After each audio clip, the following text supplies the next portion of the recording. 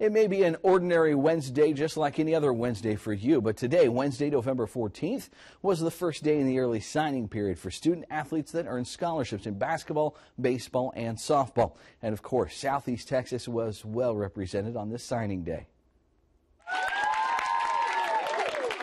Our first stop this morning found us in Port Arthur, where Memorial Lady Titan Doshi Davis signed on to continue her basketball career at Texas A&M Corpus Christi. It feels great knowing that nobody has to come out of their pocket for money and stuff. Everything is taken care of. I like the campus, the environment. The people are really nice. We visited one more basketball signing ceremony today over at Ozen. Nakia Jones inked a deal to hook 'em horns at the University of Texas starting next fall.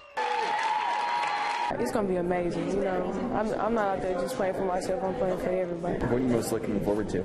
Just getting there. You know, you know. I know it's going to be kind of hard my freshman year, so I'm just going to try to go there and work hard as hard as I can to make the team better and try to compete for a championship. Westbrook's Marissa Taunton will continue her softball career and become a Division One student athlete at McNeese State.